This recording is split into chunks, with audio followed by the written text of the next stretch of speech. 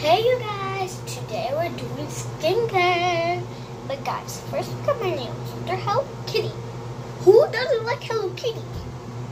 Who doesn't like Hello Kitty? Okay, first we're going to.